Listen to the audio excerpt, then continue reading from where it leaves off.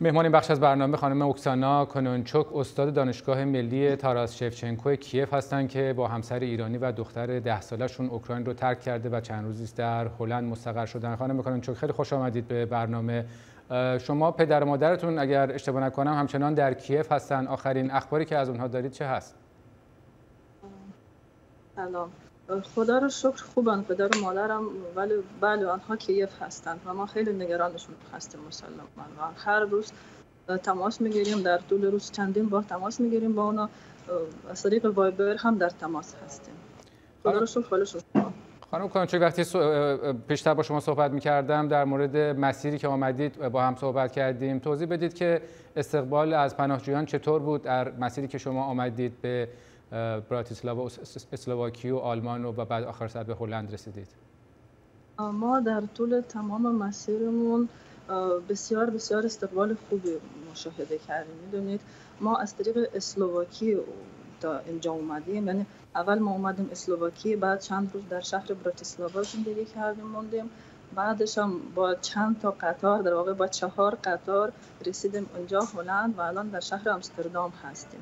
و در تمام این مسیر مردم واقعا بسیار با یک خونگرمی با محبت با مهمان نوازی به استقبال اوکراینیان می آیند بله می‌خوام. روحیه مردم اوکراین اونطور که با خانواده در تماس هستیم و با دوستان چطور می‌بینید؟ مردم متحدتر می‌بینید و امیدواری هست که جنگ زودتر تموم بشه؟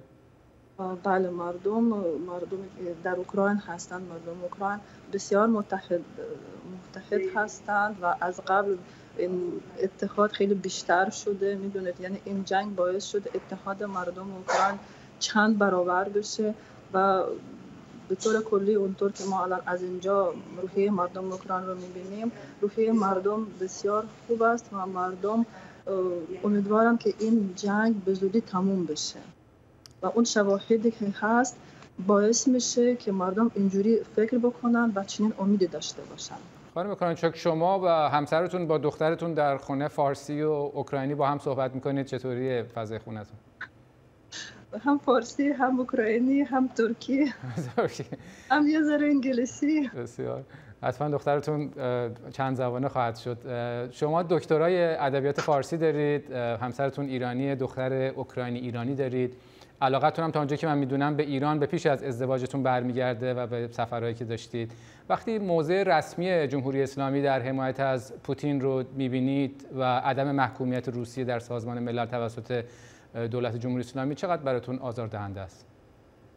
مسلما بسیار بسیار آزاردهنده و ناراحت کننده است. بله من می‌دونم که موضع مردم ایران این نیست. می‌دونید؟ ما هم فامیل داریم در ایران و هم من دوست و آشنای بسیار زیادی دارم در ایران چون که الان در واقع بیش از 20 سال است که با زبان فارسی سر و کار دارم و دوست و آشنای بسیار زیادی دارم در ایران. و در این مدت از وقتی که جنگ شروع شد مردم خیلی خیلی زیادی با من تماس گرفتن.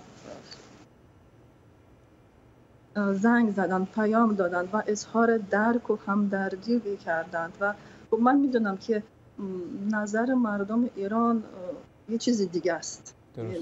نظر دولت یه چیزی است نظر مردم ایران یه چیز دیگه است.